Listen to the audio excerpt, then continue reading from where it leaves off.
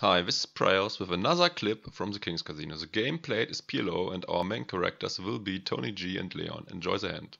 Så jeg håber, han 8 og 4 eller sådan noget, ikke? Og bare de tre outs. Dem kommer han ikke til at sætte. And the massive winner, Ronny Kaiser, Davin shouldn't enter the pot with his holding. This is Toulouse from his position. Swiss based Omaha expert. I have a condom if you want. He's a huge winner here in Kings. Tony's race is fine. Ca- I remember the cash session in February 500,000 euro in profit. This, I cannot say no. Gus should also have stayed away pre-flop.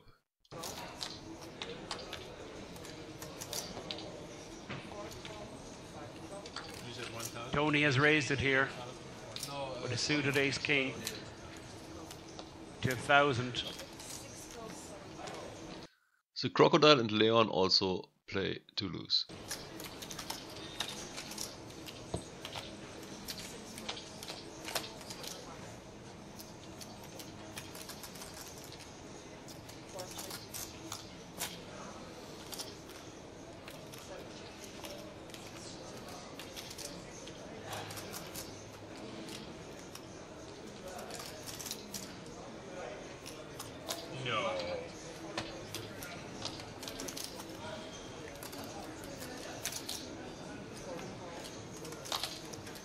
Leon has a set of fours. Tony continued. On the flop, Leon decides to just check call. I like putting in a raise. Tony lost a lot this session and he will stay in the pot with many things, and especially clubs might kill the action. Leon also has the right image helping him to get people spew of money when he actually has a hand. Although I also don't mind his line of play. Two pair, kings and fours. And this could be a big pot, guys.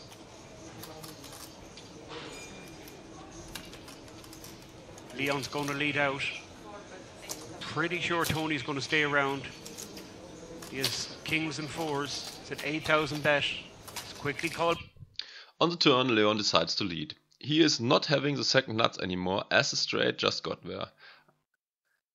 So his lead is a bit questionable, but maybe he thinks that his opponent is really unlikely to have the straight and he don't want to give him the chance to take a free card. And maybe he also wants to protect against flush draws. If I think about it more deeply, I like th- the line he took. As Tony might easily interpret, interpret this as full of shit.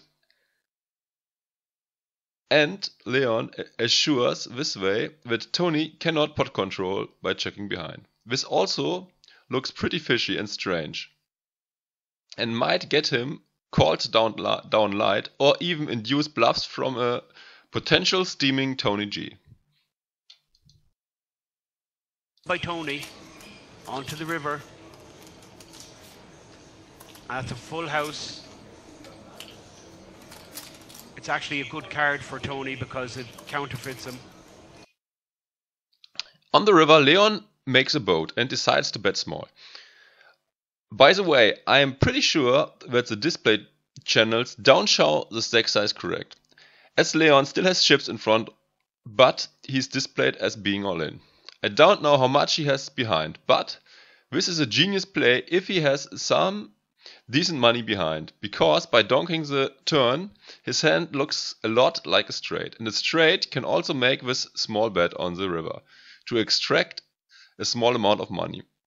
This blocking type bet might be in- interpreted from Tony as a straight, which is trying to pot control, and he also so has the perfect hand to try the full house blocker bluff. As he blocks the king and the four, this makes it a lot less likely that Leon has a boat. And Tony might decide to move in in order to push Leon off a straight.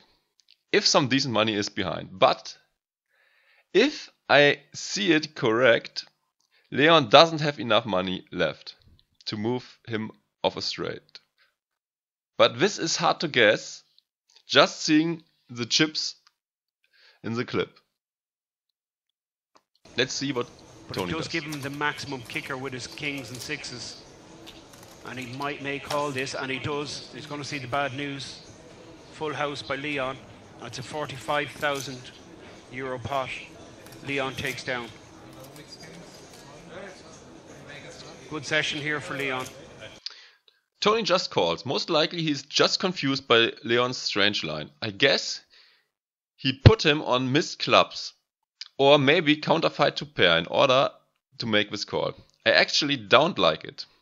I would have made an exploitive fold.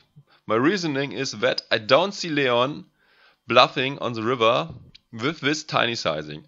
I would have thought if he tries to bluff, he would put his remaining stack in.